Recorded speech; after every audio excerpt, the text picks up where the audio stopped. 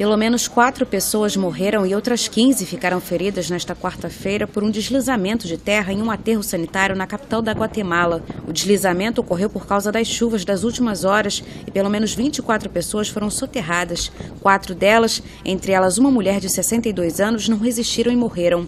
Outras 15 pessoas foram resgatadas com vida, das quais oito foram atendidas no próprio local do acidente e outras sete levadas a hospitais próximos.